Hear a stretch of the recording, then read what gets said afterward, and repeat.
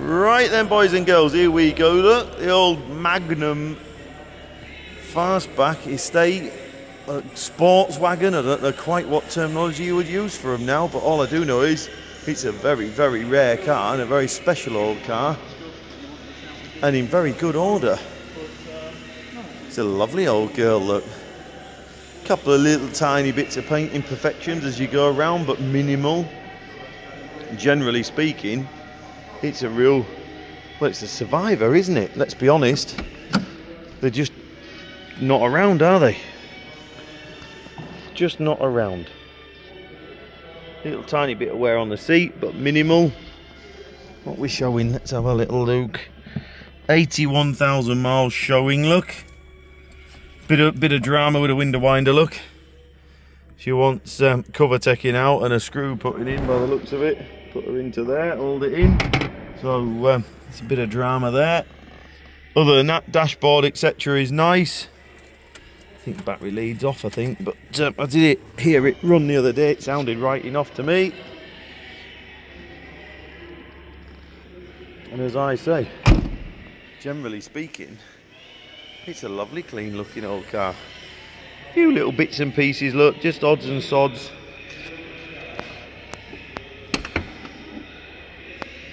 There we go. Not been used as a van, it would seem. Let's be fair, we all know old estate cars get to a point in their life and they become cheap vans, don't they? The local builder it's not so much anymore, is it? But years ago, the local builder, painter, decorator, plumber, whatever, always had an estate car, didn't they? Just purely and simply because they were cheaper than a van at the time.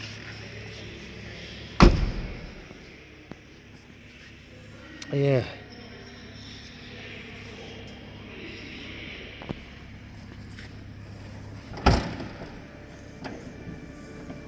Hang on really has to have a third arm for this job.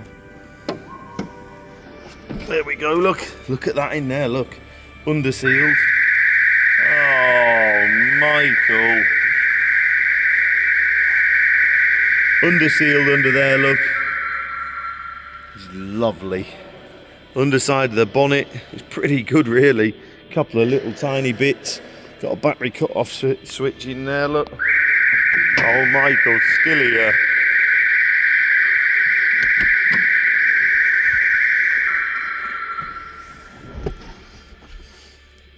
Aftermarket alarms, they're a joy, aren't they? He's still going with it. there you go. Not a lot wrong with that, is there? So there she is.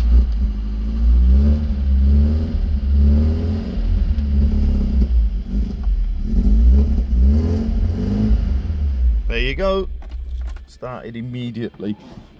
So there you go. Come down, have a little look see what you think. Very, very rare old car, that. Come and have a look. Thank you.